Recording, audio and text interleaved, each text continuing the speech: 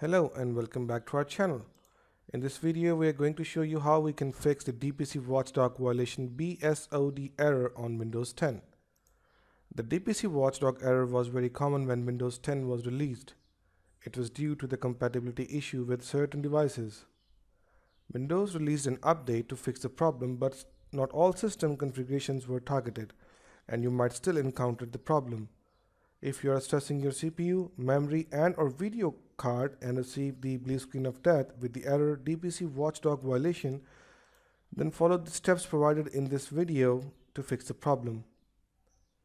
Our first method is to clean install the drivers by uninstalling first using display driver uninstaller. There are two situations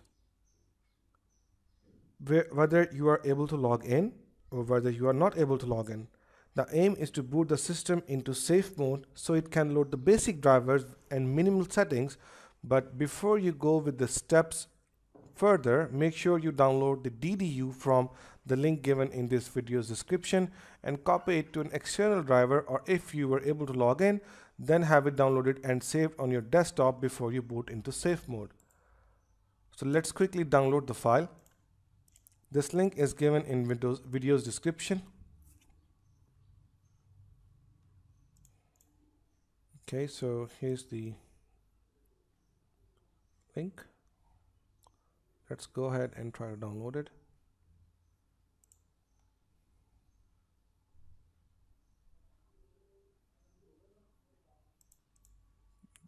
Download is ready. Let's quickly see in the folder and uh, let me quickly extract a call here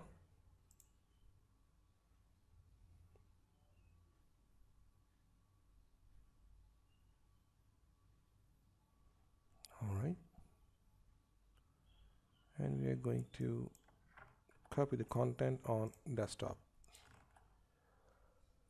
so if you're not able to log into your computer copy this content and make this content content available in an external drive so that it can be used later now we need to restart our Windows in safe mode. Whether if you're able to log in, uh, we'll cover the scenario first. If you're able to log into the Windows, click on Start menu while holding the Shift key. And while you hold the Shift key, click on Power button and choose to restart. This is applicable for Windows 8 and Windows 10.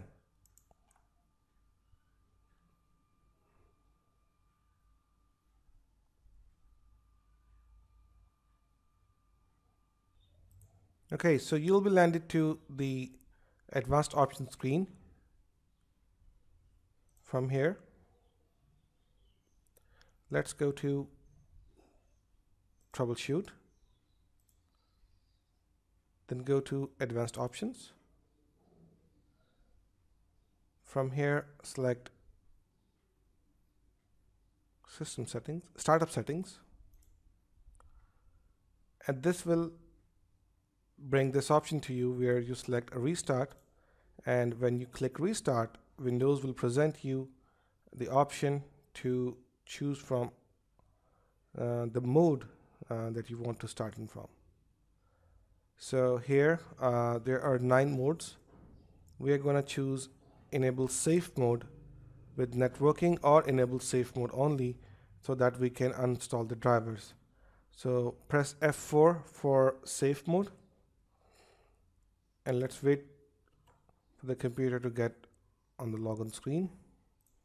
Okay so it's logged in now if you're using Windows 7 or Windows Vista uh, restart your computer and tap F8 key repeatedly until you see the advanced boot menu uh, if you don't see this menu start over and then again try to tap F8 key on your keyboard until you see the advanced option when you see these options, select safe mode and you'll be able to log in in the safe mode.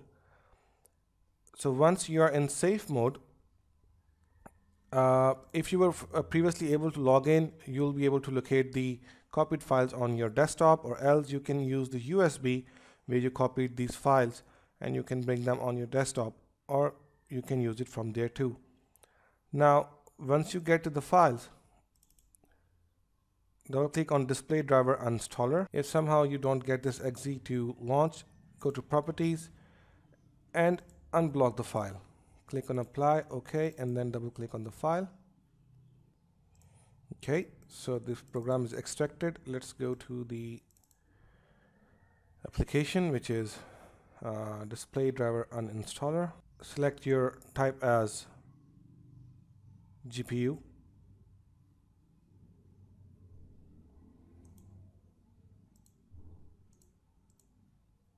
select your vendor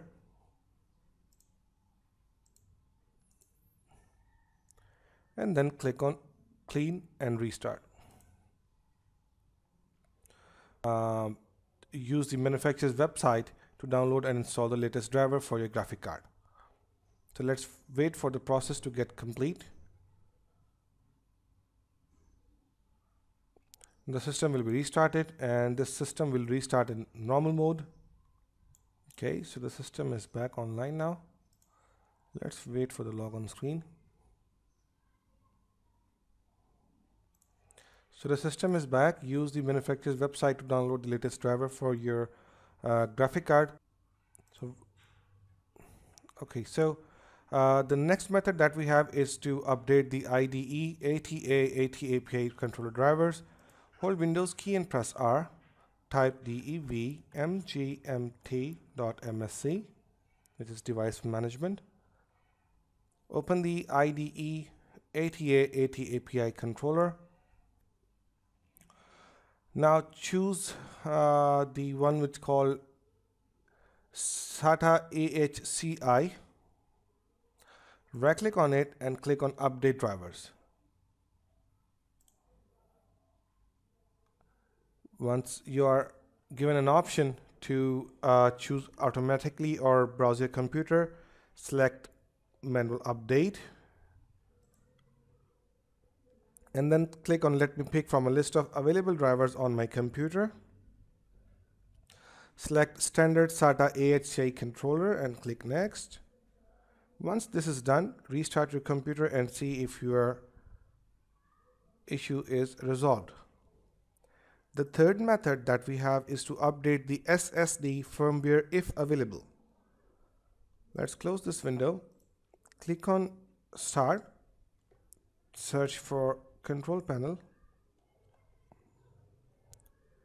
Let's view by small icons. From here, see Device Manager. Double click on Disk Drives.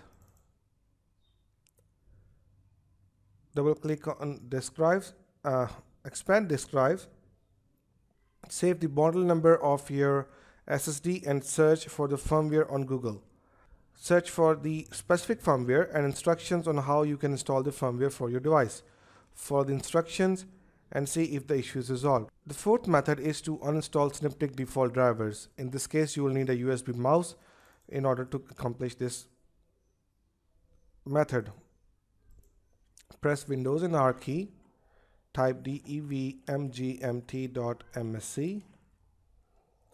expand mice and other pointing devices. From here, right click on Synaptic SMBus touchpad and click on uninstall. Restart your computer and wait for Windows to install the most updated drivers for it and that should resolve the problem. I hope this video will be helpful for you. Thanks for watching and don't forget to subscribe our channel.